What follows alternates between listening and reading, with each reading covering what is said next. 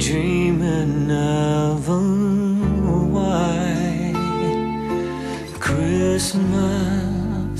Εγώ είχα ψώνιο με το τραγούδι, σαφώς. Με μία βούτσα θυμάμαι μπροστά από ένα, στον καθρέφτη στο σπίτι και κρυφά περίμενα να φύγουν όλοι για να μην γίνω και ρεζίλη. Έχω την αίσθηση ότι τα περισσότερα παιδιά έτσι κάθονται μπροστά στο, στον καθρέφτη, προσπαθούν να ανακαλύψουν λίγο τον κόσμο τους. Γιατί δεν μ' αρέσουν οι άνθρωποι που δεν ξέρουν να χάνουν, ας πούμε. Θέλω να προσπαθούν να κερδίζουν, αλλά άμα χάσουν, χάσαμε. Ε, φαντάσου, ας πούμε, να πήγαιναν κάποιοι να δουν τους Ολυμπιακούς Αγώνες, Φερπίν.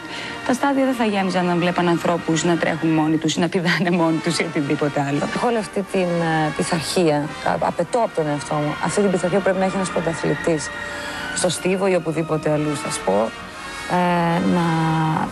που χρειάζεται για να πετύχει την πρωτιά του. Το ποιος είναι καλός ή όχι είναι κάτι που το ορίζει ο χρόνος και ο κόσμος. Υπάρχουν άνθρωποι που δεν, δεν έχουν ιδία προσωπικότητα, δεν έχουν καταφέρει να έχουν ταυτότητα σε αυτό που κάνουν. Και πάρα πολλές σταρλέτες, που ξαφνικά με ένα σουψεδάκι ή με κάποια συγκεκριμένη κόμη, ας πούμε, και ένα φουστάνι που το έχουν βάλει. Μου πηγαίνει το κόκκινο, ναι, ναι.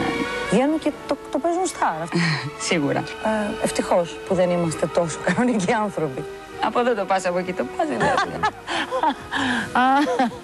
Θέλω πραγματικά να σας πω, έτσι για να μην το ακούσετε απαλού ξανά, ότι το καπέλο που φορούσα στο χριστουγεννιάτικο τραγούδι που είπα, το σκουφάκι, ναι. δεν ήταν του Άι Βασίλη. Ορίστε. Είναι μια απολογία αυτή. Τι εννοείς ακριβώς; Ευχαριστώ τον μπαμπά μου και τη μαμά μου. Νομίζω ότι με βγάλαν συμπαθητική.